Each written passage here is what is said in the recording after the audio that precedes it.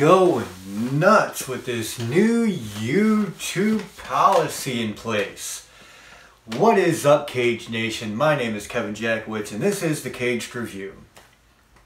Well, I have seen dozens of posts already, people talking about the new YouTube policies, that you're demonetized if you're under a thousand subscribers, or I think it's like, what, 4,000 watch hours in a year. Here's the thing. People could be pissed off and say, you know, you're taking away um, the ability of the smaller channels to get paid. The reality is, if you're under a thousand subscribers and you have under 4,000 uh, watch hours in a year's time, you're not getting paid much anyway. And that's just the way it is.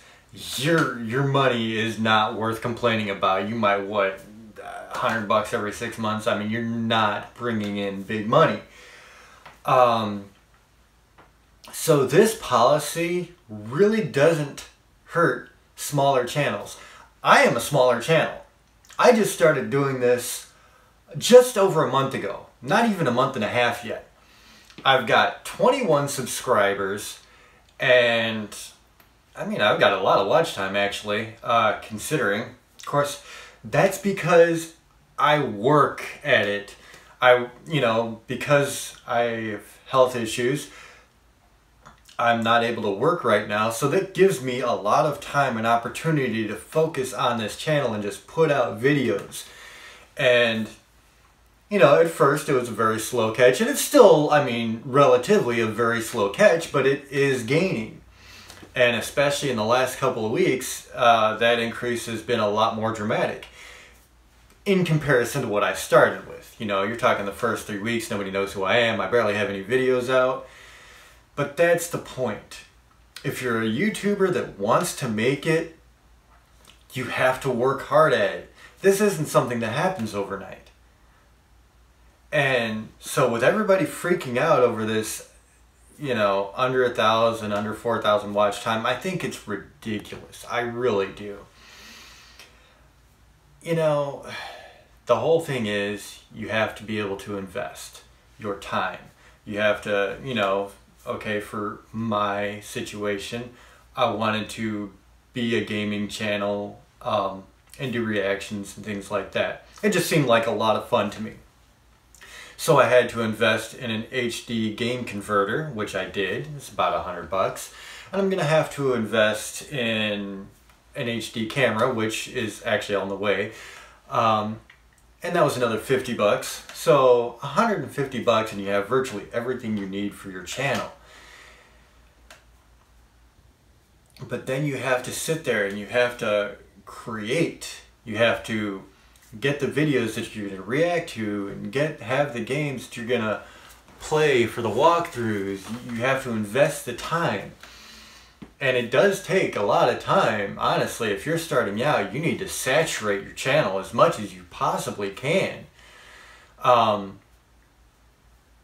and here I am, like I said, you know, um, what, maybe, maybe five weeks. I don't know that I'm even a full five weeks into this and am I concerned about these new policies in place? No.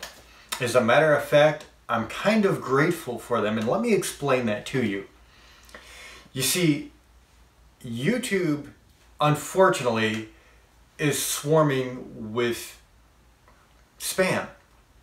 People who get on here, they don't give a damn about the channel itself, and they're just out to make money with these clickbait profiles. They're under a thousand subscribers, you know, and this is a way for YouTube to try to eliminate that because now these spammers are going to have to invest a lot more time to get any money out of this, which I think is really good. That does actually help the YouTube community.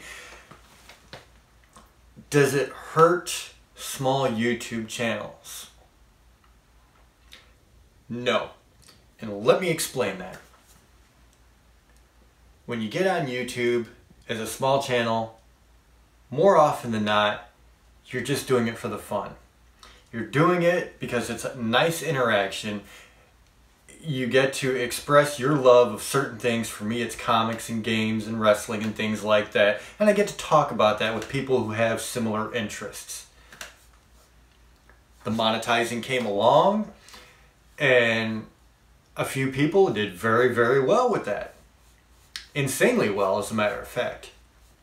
And everybody has this dream now of having a career on YouTube. It takes time. And you're losing, I mean, a very minimal amount of money, if at all. So I don't think this hurts smaller channels. I really don't. Um, it means you have to work harder. You have to reach these goals. Okay, you know, you were here with your, you know, requirements. Now you're up here a little bit. And it's not even really that far. Um, you know, I'm getting subscribers without even trying. I'm I'm getting a lot of views now with, you know, just just by putting up videos that I haven't even really perfected. Right now, I'm just trying to saturate YouTube with my content.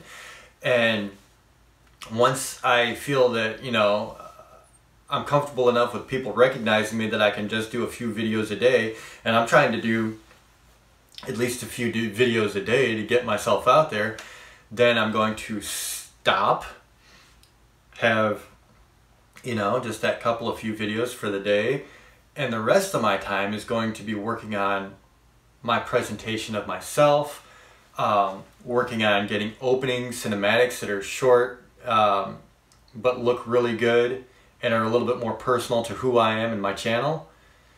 And that's what I'm saying, refining your craft. Um, this is something, if you're walking into a YouTube channel thinking that you're just going to make a lot of money off of it, you need to be realistic with what you're doing. I I am definitely not against YouTube doing this. And you know, another thing about it is they're not coming into our house and telling us how to live our life. We are walking into their house. And so we have to abide by their rules. Whether we like that or not, no one ever said that we had to try to make a living off of YouTube. You can go out and get a job. You can work in, you know, construction or fast food or whatever the case may be, but you choose to try to get a job here. Well, this is a company like any other and they have guidelines that you have to abide by. So, at the end of the day, this is your job. You have to treat it like your job.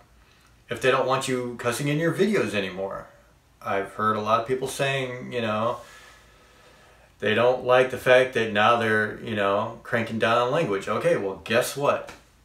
You are walking into their house. They have rules. Are they tightening up the rules? Yes, they are. Do I believe it's because of Logan Paul? No, I don't. I don't believe that's. I believe that it is possible that that incident made it much more public and maybe they decided, you know, okay, well, this is how we're going to handle it. But I, I do think this, like I said, it's, it stops a lot of people from abusing YouTube and not really trying to add to the community content. And so I think that is overall a good thing. Um, you know, it, it's a business like any other and you can't be pissed off because a business is acting like a business. I mean, at the end of the day, they have to make money. They have to make money so that we can make money. So that's how you have to look at it, guys. I mean, it's not a bad thing. It means you might have to work a little bit harder and wait a little bit longer, but at the end of the day, even after you're over a thousand subscribers and 400 or I'm sorry, 4,000 watch hours, there's no guarantee that you're going to be making big money right off the bat. You know, so that's just food for thought. Um, I know a lot of people are up in arms about it and they're like, oh, I'm going to quit YouTube. Well, then that means you didn't have a love for it in the first place. That's how I feel about it. So ladies and gentlemen, my name is Kevin Jackwitz. This is The Kaged Review. I'm going to keep doing what I do because I like doing it. Because I like putting out the content. Um, I also, I, I feel like um, the interaction is just something that I look forward to. I, I look forward to opening up my phone and seeing people are commenting on my videos and liking them and I'm not going to stop that because I might miss out on 50 or 100 bucks. So, have a good day. Cage Nation out.